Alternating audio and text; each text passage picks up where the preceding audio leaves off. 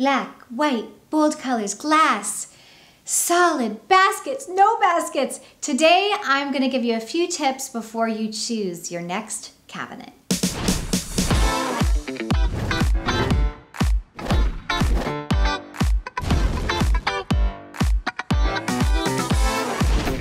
I think a cabinet is one of the most underutilized pieces of furniture in any room because it's the place where we get to either store our things or store and display those things. So my first tip is to decide exactly what you're trying to do.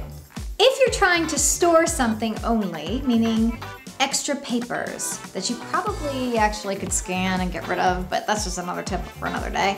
Uh, versus you really want to display your art collection or your book collection. Well, this is where you get to decide if a solid front or a glass front or a completely open front is best for you. Are you a duster? Are you gonna keep it clean?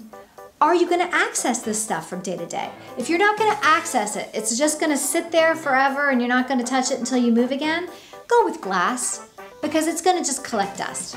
If you are a clean freak like me and you're gonna dust all the time and you're gonna take pride in moving things around, you know, from season to season, adding, subtracting from those spaces, go with open cabinetry. It'll be a beautiful look. Bookcases are awesome. Uh, but here's the tip with bookcases. They're not just for books. When you fill the entire bookcase, meaning every single shelf, it starts to look like an overwhelming wall of things that you have read, haven't read, it doesn't really matter, but you can't really actually digest what's on that shelf.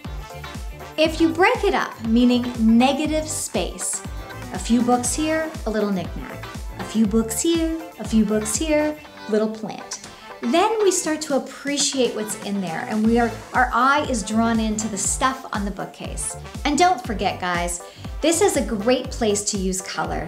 If you really don't want to spend a whole lot of money investing in a really bright or bold piece of furniture that is linen or fabric, a cabinet can always be painted down the road.